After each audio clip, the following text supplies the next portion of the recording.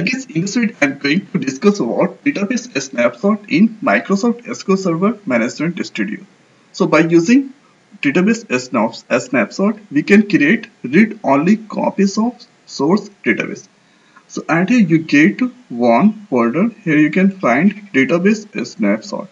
So if you want add here copies of uh, any database, so you can do that by using database snapshot property. So add here, this is a database snapshot here. There is nothing inside there. So now I'm going to create one database snapshot. So add here, let's write create and here create database and here give the database a snapshot name. So giving add here Adam and here giving a snap dot. Now we have to make that on. And hereafter let's write at here name. Name. And here so name at here Adam it's selected. So if you want and here you should give at here logical files. So at here logical files Adam is there. Now here give Adam. Now hereafter we need to give specify the where you want to save the file. So write add your file file name and hereafter in a single quote we need to paste the location where you want to save the files and here this location I'm going to save. Now paste it here and here after give the snapshot name and here giving Adam and here sp dot ss. Now hereafter the next is we need to close that. And hereafter let's give the alias. Add here as a snapshot. A snapshot we have to make first on then off. So then off add here let's give the database name. Adam so this is the simplest query to create database snapshot. Now execute that. So add a command completed successfully. Now first i'm going to show you inside Adams so this is the tables inside there and here after the next thing is so and here this is the synonyms. So all the copies of Adam it's uh, created under database snapshot. So let's uh, refresh at here.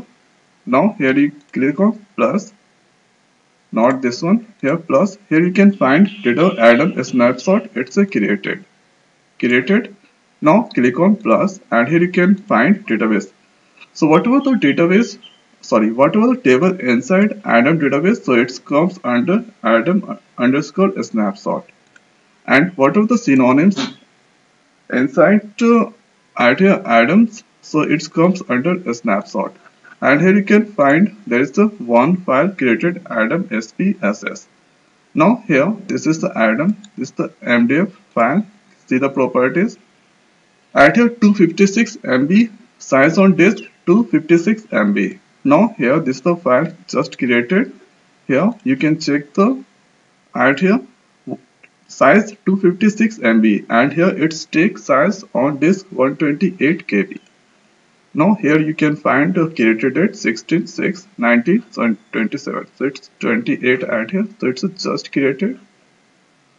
Now here after so why do we need database snapshot so suppose if user do so many modification on Adam or any database.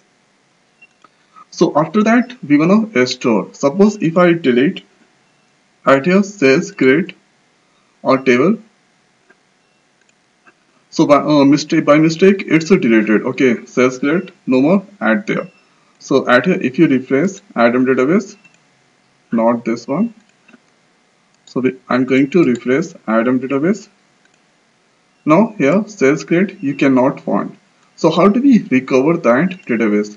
So by using Adam by using a snap database a snapshot we can easily do that so only you need to write one simplest query so let's write the query first i'm going to use at here use master use master. Now let's use at here go.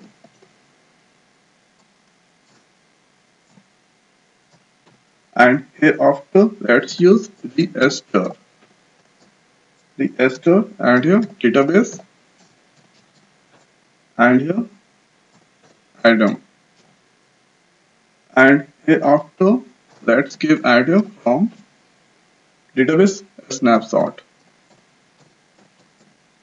underscore a snap sort. Now here give the a snapshot name. Add here this is the name Adam. Give add here Adam. And here underscore a snap sort. Now after single quote and close that. Now execute this query so I did the mistake we need to write master